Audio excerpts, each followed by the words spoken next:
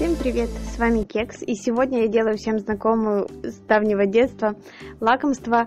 Это орешки со сгущенкой. Очень вкусно, нашла недавно этот рецептик, и мне э, дали попользоваться еще советской такой орешницей. Вот, и решила и вам показать, может у кого-то где-то завалялось. Так что берите свои орешницы в руки и давайте делать нами орешки. Э, смотрите, здесь э, самый легкий и простой рецепт получается песочного теста. Масло я в микроволновке э, растопила, не доводя до сильно горячего состояния, просто чтобы оно, вот видите, у меня хорошенько размягчилось. И сразу, сразу же сюда добавляю два яйца. Так как масло у меня не горячее, яйцам ничего не будет, быстренько перемешиваю до однородности и буду сюда отвешивать сахар.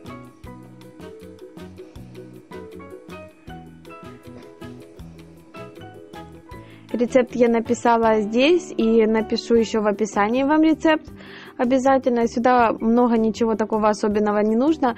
А печенюшки получаются просто волшебными. И я думаю, вы помните, кстати, еще решила добавить сюда ванильный сахар. Можно его не добавлять. И э, я не добавила сюда щепотку соли. Если вы планируете добавить, то добавляйте ее на этом этапе. Сейчас немножечко перемешаю для того, чтобы сахар растаял. Буквально тут секунд 30-40 поколотить. И теперь я сюда добавляю погашенную соду. Соду обязательно нужно погасить уксусом, для того, чтобы она не давала вкуса в наших печеньках потом. Буквально на чайную ложку соды, также чайная ложка уксуса. И опять же перемешали. Собственно, все. Теперь сюда осталось только добавить муку.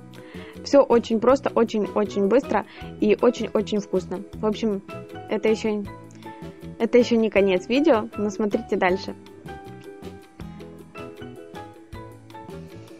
Я буду засыпать муку в три этапа, для того, чтобы никакие комочки у меня не образовались. Буквально вот добавила один стакан сразу. Стакан у меня 200-граммовый, а не 250 грамм. Так что имейте в виду, у меня 200-граммовый стакан. И нам понадобится 3 стакана муки. И просеиваю муку. Теперь уже возьму, наверное, ложку, потому что венчик уже здесь будет плохо у нас справляться.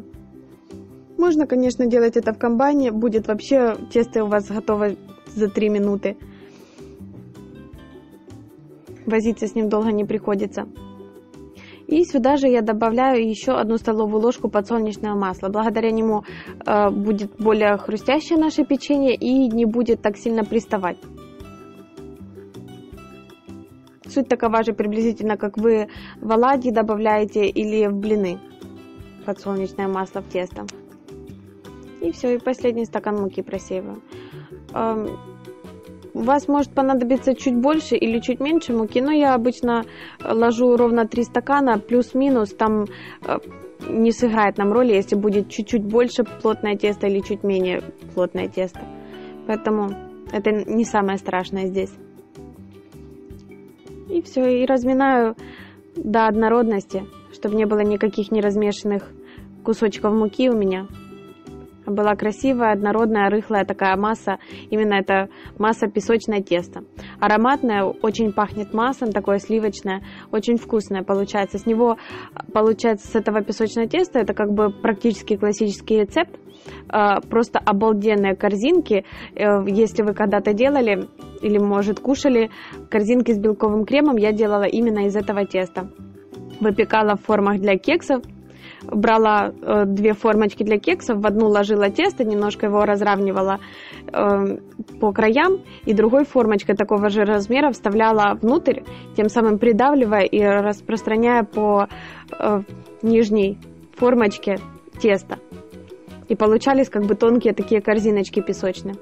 Тесто я отправила в холодильник, оно у меня провело где-то час. Надо минимум полчаса, чтобы оно полежало и хорошо остыло. У меня вот хорошо оно остыло, вы видите, после мягкого теста становится вот такое вот э, ламкое, прям довольно упругое твердое тесто.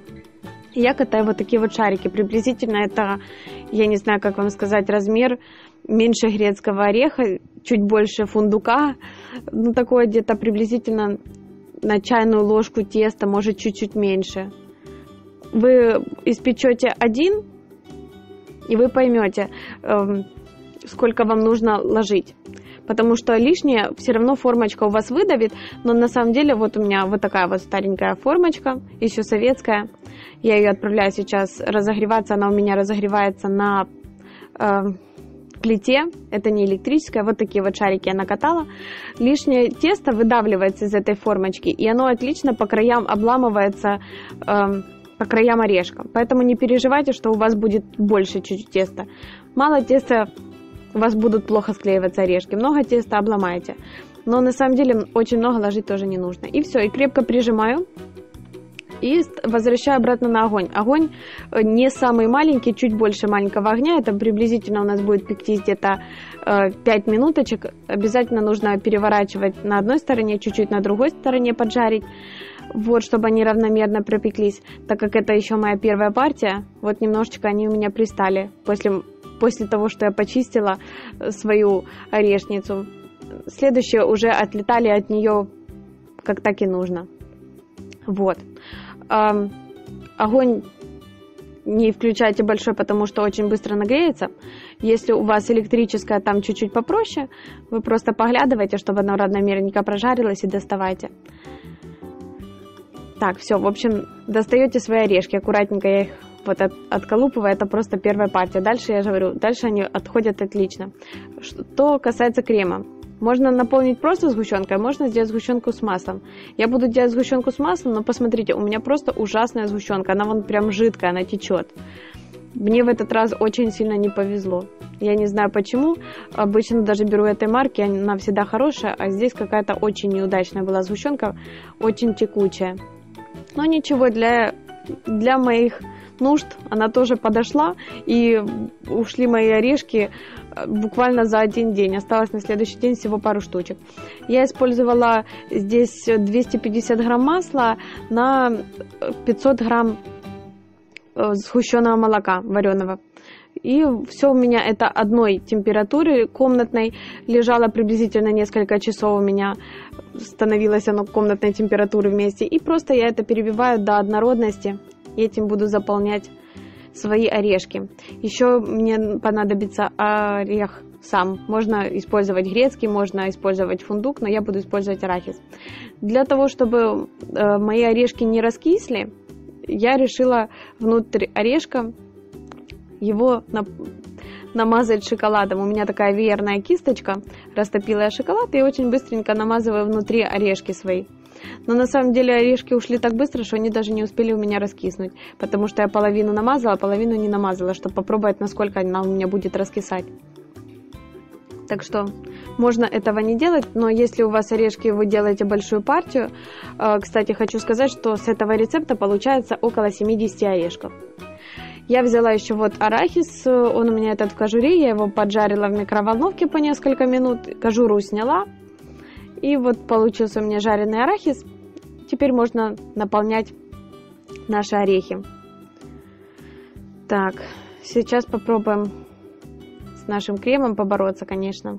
Вы видите, он и так уже видно, что он довольно жидковат. Но э, я орешки поставлю в холодильник на некоторое время. И благодаря тому, что в креме есть масло, оно немножко свяжет, так сказать, эту сгущенку. Она станет более плотная. Поэтому ничего моим орешкам не будет, и они плыть не будут.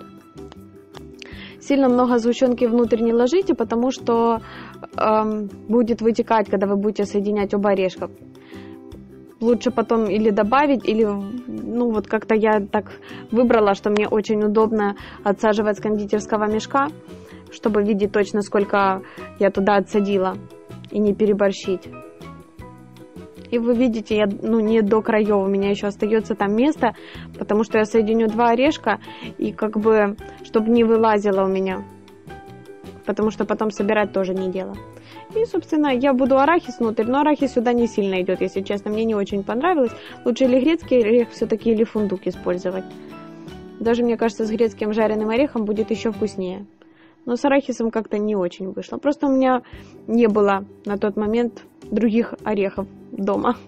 А орешков уж очень захотелось. Обязательно сделаю порцию еще, потому что это ушло настолько быстро, что мы даже не поняли. Эти 70 орешков. У меня там были некоторые орешки, которые получились э, ненужного размера, ну, поменьше, там где шарик был поменьше, и этот орешек, сама скорлупа вышла чуть-чуть меньше, и она плохо вот так соединялась. Поэтому э, брак мы скушали просто печеньками с чаем, а все остальные орешки ушли очень-очень-очень быстро. Вы видите, здесь реально дело, ну, может, час времени всего в общем.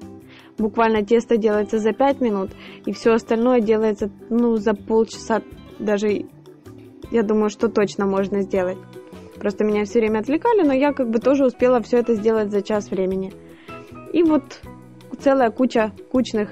Вот что все, что успела сфотографировать, потому что еле в процессе.